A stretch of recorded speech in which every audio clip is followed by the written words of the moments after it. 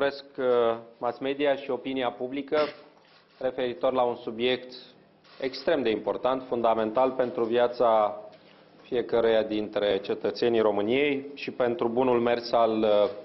economiei noastre. Mă refer în special la producătorii industriali, consumari, consumatori de energie electrică, mai ales că ieri în uh, cursul conferinței de presă a președintelui României acesta a dezinformat pur și simplu opinia publică vis-a-vis -vis de stadiul actului normativ al proiectului de lege care reglementează această situație. Vreau să fie foarte clar că aici este vorba, pe de o parte, despre interesele fiecărui consumator casnic din România, fiecărui cetățean care plătește factura de energie electrică, a marilor consumatori industriali care creează locuri de muncă, și care trebuie să fie competitiv pe plan european. Pe de altă parte, este evident vorba despre interesele președintelui României și ale unor companii private de a obține mai repede profiturile și recuperarea investițiilor pe care le-au făcut în energie regenerabilă. Mai concret, în anul 2013, din surse regenerabile, în România s-au produs 6,2 teravați din producția totală, reprezintă o cotă de 11,1% energie regenerabilă, susținută practic prin schema de ajutor de stat cunoscută ca certificate verzi. Prin proiectul de lege pe care Guvernul l-a transmis Parlamentului, a fost votat de Parlament și o să vă explic imediat de două ori chiar, se menține pentru anul 2014 această cotă de piață de 11,1% la care se acordă certificate verzi și nu se aplică creșterea la 15%, așa cum era prevăzut într-o lege optimistă, legea 220 din 2008, atunci când pe plan european și în România creșterea economică asigura un tip de competitivitate care ulterior, după 2009, s-a dovedit hiperoptimistă.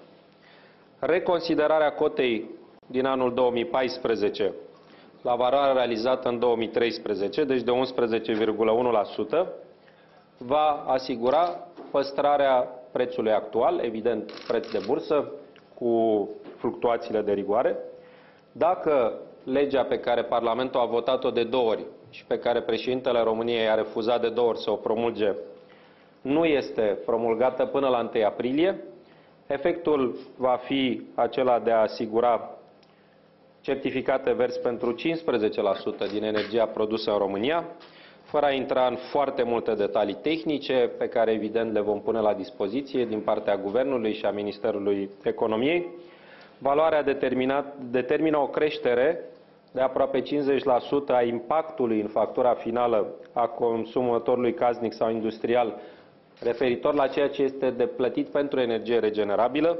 de la 42 de lei pe megawatt la 63 de lei pe megawatt, deci practic 50% din ceea ce se plătește astăzi și ceea ce fiecare consumator din România, fie că e vorba de consumatorul industrial, fie că e vorba de consumatorul casnic, găsește pe factură separat, trecut, energie regenerabilă.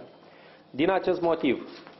și urmând o politică pe care au aplicat-o multe state europene, aceea de temperare a ritmului de acordare a subvențiilor pentru energia regenerabilă, Guvernul a susținut în Parlament această modificare, Parlamentul a votat-o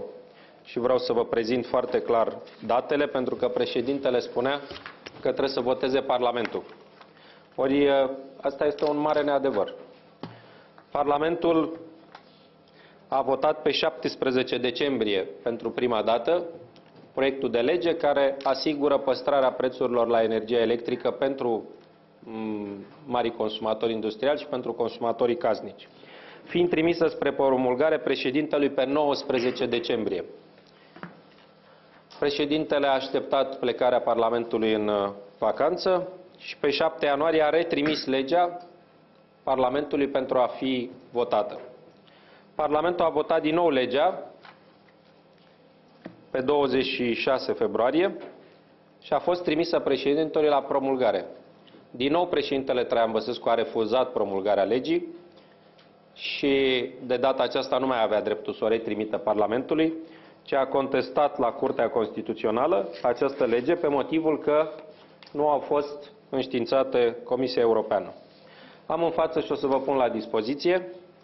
adresele din partea Ministerului Economiei, Departamentul pentru Energie. Prima adresă este din 1 a 8 a 2013. Vă transmitem atașat documentele de prenotificare a modificărilor aduse legii 220 pe 2008 privind sistemul de promovare a producerii energiei din surse regenerabile, atât către Consiliul Concurenței, reprezentantul în România, a ceea ce înseamnă mecanismul de ajutor de stat. De asemenea, ultima adresă din 29 a 2014 către Comisia Europeană, Direcția Generală Competition, prin care, de asemenea, vă mulțumim pentru invitația de notificare a modificărilor și completărilor. Ca urmare, au pregătit în luna noiembrie material necesar pentru notificarea celor 8 măsuri. Deci este total neadevărat că nu am prenotificat, notificat, urmat toate procedurile pe care de altfel orice țară a Uniunii Europene le uh, urmează atunci când este vorba despre scheme de ajutor de stat. Motivul invocat de președinte este un motiv fals pe care l-am văzut preluat cu copy-paste din uh, susținerea Asociației Producătorilor de Energie Regenerabilă, sigur, cei care au, până la urmă, un interes comercial direct în a primi mai repede aceste uh, subvenții. Vreau să fie foarte clar că aici, dincolo de un joc politic, președintele țării știe foarte bine că nu este nimic neconstituțional, știe foarte bine că s-au îndeplinit toate procedurile europene. Președintele țării urmărește un singur lucru, să tragă de timp, pentru ca la data de 1 aprilie, practic noua cotă de certificate verzi să intre în vigoare și orice fel de reglementare ulterioară să mai poată produce efect doar pentru 2015, iar efectul de a, pe de o parte, de a avea o creștere cu 50% a impactului uh, cotelor pentru energie regenerabile în factură, să se aibă loc din acest an. Din punctul nostru de vedere, sunt două variante. Ori este vorba despre interesul extrem de egoist și politic al președintelui de a avea un impact major asupra economiei și cetățeanului român în 2014, probabil interes strict politic, fie vorba este de un interes material, de sprijinire ilicită și ilegală a unor interese economice și în acest caz este vorba despre un caz de mare corupție, pentru că suma totală, care în acest fel ar urma să fie sau nu plătită de către toți consumatorii, industriali și casnici, este de aproape 500 de milioane de euro în anul 2014.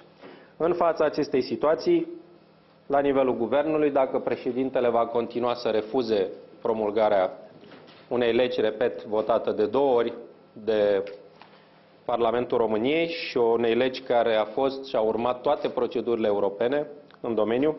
evident că va trebui să emitem o ordonanță de urgență cu același obiect până pe data de 1 aprilie, pentru că un guvern responsabil are obligația să protejeze economia românească și consumatorul vulnerabil de un președinte care fie face jocuri politice, fie are interese financiare și materiale directe în acest domeniu.